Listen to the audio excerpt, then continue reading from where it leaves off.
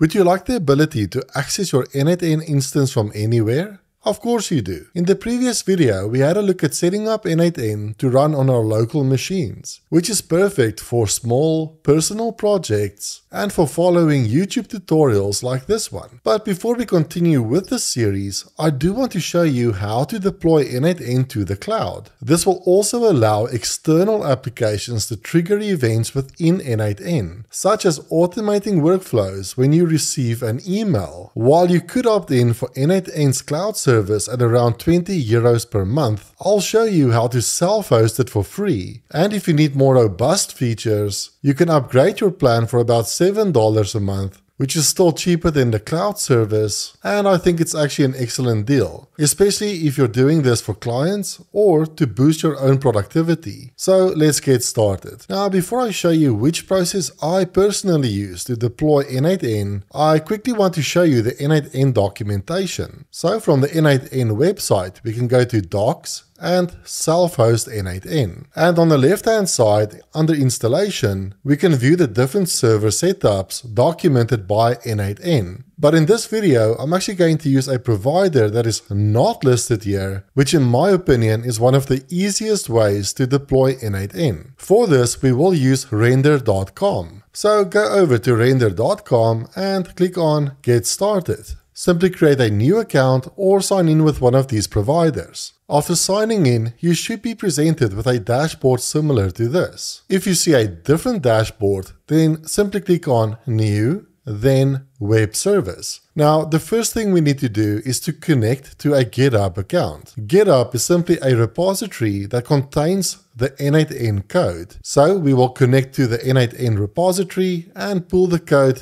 into Render. Go to github.com, then click on Sign Up, then enter your email address, click on continue, then create a password, click on continue, and enter a username. Let's click continue again. And finally, let's click continue. Now we are logged into GitHub. In the search bar, enter N8N and the N8N repo should be the first one showing up in the results. Let's click on the N8N repo and without getting into too much detail, this repo actually contains the source code for N8N. But we're not going to touch the code, so please don't worry about it. But what we want to do is to make a copy of the code into our own namespace so that we can deploy it to render. That's super easy to do. Look for the fork option on this page and then click on create a new fork. On this screen, we can leave everything on the default values. Let's simply click on create fork. And after a few seconds, we will now have our very own copy of N8N. Now that we have GitHub and our N8N repo set up, we can go back to render. Then let's click on GitHub to connect our account. On this pop-up, I'll simply authorize render. I'll leave all repositories selected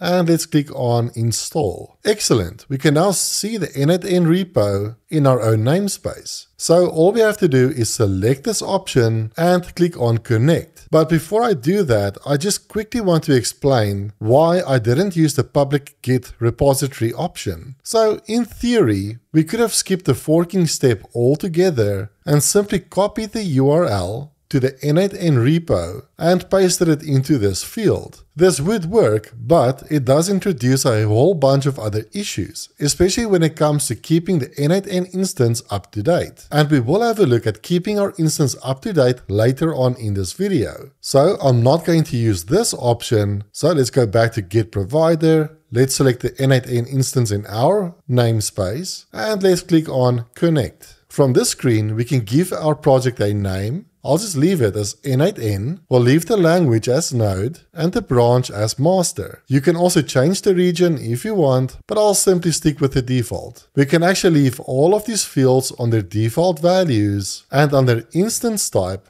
let's select the free plan. Now, I do recommend using a starter plan instead, which does cost $7 a month. But if you simply wanted to follow along with this tutorial for free, then the free tier will be perfectly fine. The downside with the free tier is that it does spin down after some inactivity, which simply means that if you haven't used your instance in a while, it could take a few seconds to start back up. Also, if the server had to be restarted, you will lose all of your workflows, as the data will not be persisted. So for now, we'll select the free tier, but do stick around as I will show you later on in this video how to convert your plan to the starter plan and retain your workflows going forward. So let's scroll down. We'll leave the environment variables blank, but we will add a few environment variables once we upgrade to the paid plan. Let's simply click on deploy web service. Render is now busy building our project and this will take a few minutes to complete. After a few minutes, the build is complete and we can see that the status changed to live. We can now access N8N by clicking on this URL over here. Just like with a local setup, we can now set up our owner account. So go ahead and enter your email, first name, last name and a password. On the next screen, you can fill out this form if you want to, or simply click on Get Started. And you can now access N8N from anywhere using this URL. Also, you can customize this URL by going to Render and Settings, and under Custom Domains, you can go ahead and register and set up a custom domain. How cool is that? Now let me show you one limitation of using the free package on Render.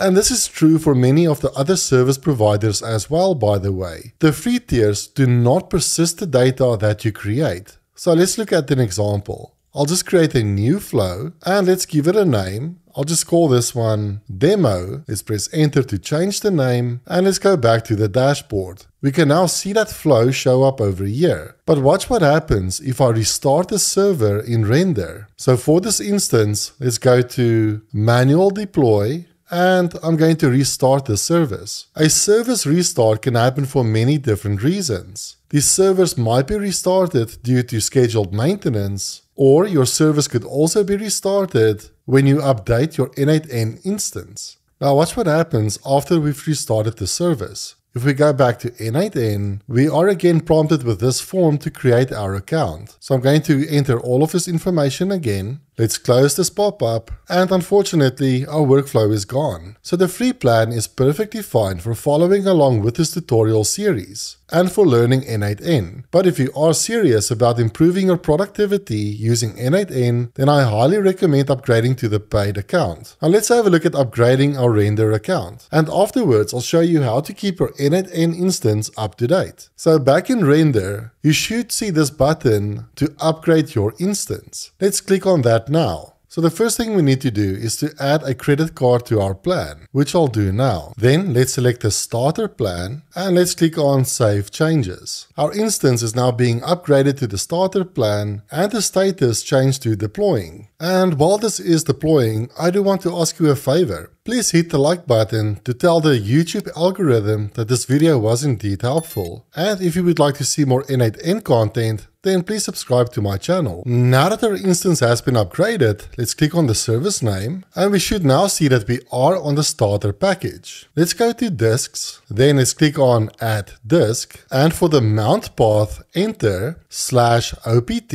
slash render slash dot n8n. For the storage size, let's select 1 gigabytes and let's click on add disk. Now all we have to do is add a few environment variables. Let's go to environment and under environment variables, let's click on add environment variable and let's enter n8n underscore editor underscore base underscore URL and this contains the URL to our N8N instance, which we can simply copy from over here and paste it into this field. Then we need to add four more environment variables. The next one is N8N host, and this is also the link to N8N, but without the HTTPS part of it like so. Then let's also add N8N underscore port with a value of 443 Let's add another environment variable called N8N protocol with a value of HTTPS and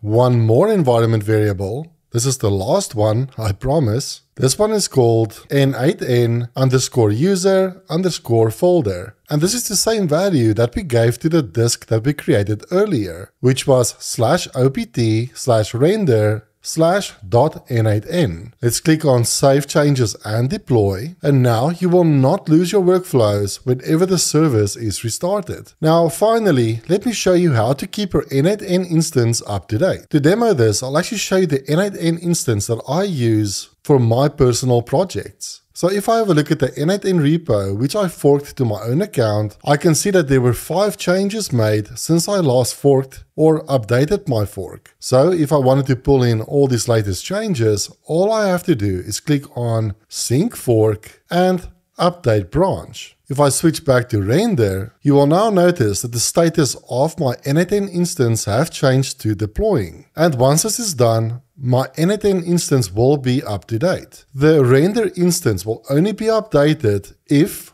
I sync my GitHub repo. So I can decide when these updates should be pushed. Ideally, not at a critical time where I'm expecting my N8N instance to be up and running. Because during this deploying or build phase, your N8N instance will go down and any processes relying on N8N to be up will be unavailable. That is also why I decided not to use this public Git repository option, which points to the main N8N repo. Since the N8N repo is updated multiple times in a single day, it would mean that your render instance would also be updated multiple times a day as well causing unpredictable and multiple downtimes during the day. So I highly recommend creating a fork of N8N and deciding yourself when the ideal time is to sync the repo. Now that we're able to access N8N, whether locally or in the cloud, we're finally ready to learn how to build workflows.